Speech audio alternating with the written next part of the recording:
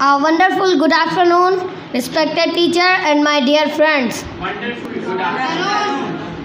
First of all, thank you for giving me this opportunity to speak on podium. My name is Ankit Gupta. I belong to Alal Doria. I am doing my schooling from Pioneer School. If I talk about my family members, so there are six members in my family, mother, father and four siblings. If I talk about my strengths, so I am self-motivated, and hardworking and a disciplined boy. My short-term goal is to achieve a good position where I can build my career. That's all. Now I'm going to tell you about Adolf Hitler. Do you know who is Adolf Hitler?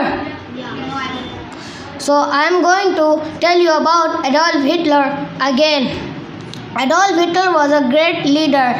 He he he born in Germany. His father name was Elias and mother name was Clara. He wanted to become an artist.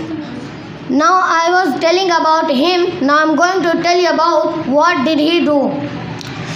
He- only from him uh, the second world war began only from him the second world war began because he was the leader Uh, when the first world war was running then uh, in that world war the germany was also in that.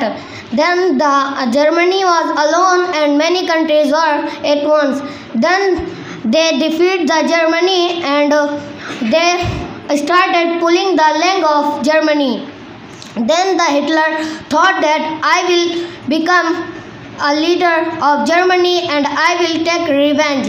From that day when he be of 23 years old from that day he started saying i am not standing for election for me. I am standing election for you because which country has pulled our leg then he, then everyone started giving him vote and they gave him vote. After giving vote he became the leader uh, he became the president of germany and then he said how many children you have? You should give them training for fighting. Then they were 9 years 10 years and 15 years. Uh, and they were five then they started then the adolf hitler started giving them training.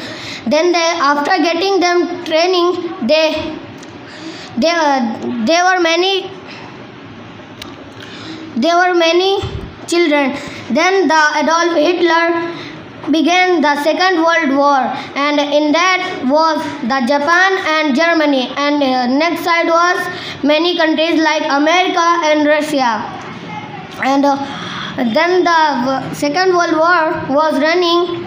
Then the germany thought that i am going to defeat then the adolf hitler ate the poison and he shoot him. And after shooting he said to his before shooting he said to his minister that you should if i will if i don't die you should kill me. That was the story of hitler